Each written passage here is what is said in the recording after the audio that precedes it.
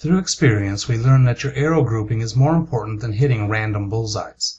This grouping drill is designed to work on your form to get a tighter grouping which will lead to a more consistent shot.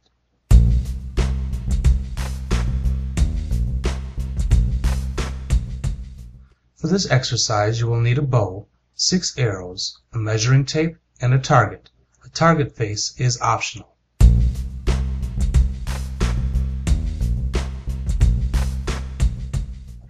At 20 yards shoot six arrows into a target. Measure the distance around your arrows using a tape measure as shown. Record your measurement around the arrows as well as the distance you shot from.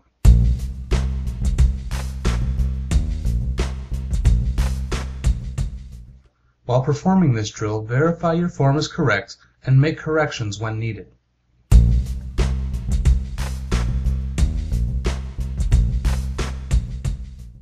To increase the difficulty of this drill, shoot from a greater distance.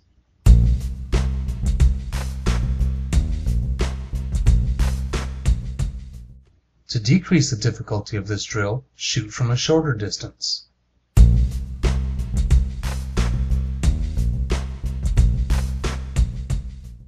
Keep track of your progress by scoring your exercise for each practice session.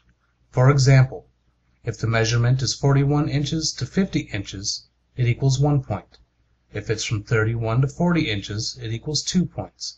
21 to 30 inches equals 3 points. 11 to 20 inches equals 4 points. And 0 to 10 inches equals 5 points.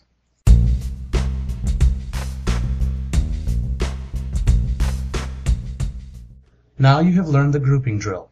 We have also discussed how to increase and decrease the difficulty of this drill and how to score your progress. Have fun and practice hard.